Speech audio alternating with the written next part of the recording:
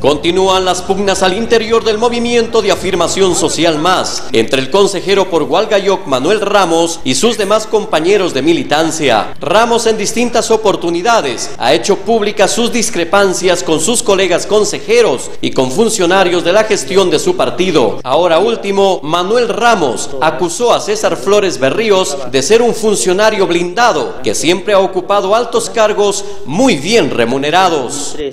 El consejero por la provincia de Cutervo y compañero de partido de Manuel Ramos, Máximo León, dijo no creer que Ramos vaya a alejarse del movimiento de afirmación social. Asimismo informó que estas nuevas declaraciones de Ramos en contra de César Flores no perjudican su relación con el partido.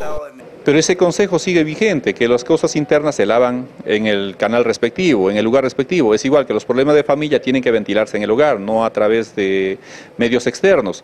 Por lo tanto, yo creo que en el cumplimiento de las funciones del consejero, lo que está haciendo es emitir su opinión de manera pública. Y eso en ningún momento resiente la unidad que tenemos en el movimiento siempre y cuando se trate de defender intereses colectivos. ¿Siente que se les va, ¿Sienten que se les va Manuel Ramos? No, yo eh, la verdad que no lo presiento así, ni lo siento así. Yo he conversado con él, él tiene una labor importante en la cuestión de la fiscalización. Máximo León también aclaró que las inscripciones para precandidatos para el gobierno regional en el MAS aún no se han cerrado y no reconoció que existe la posibilidad de que su persona también se presente como precandidato junto a Jorge Rimarachín e Idelso Hernández. Mira, yo creo que mientras no estemos clínicamente declarados como discapacitados o incapacitados, todo ciudadano tiene la posibilidad de ocupar cualquier espacio.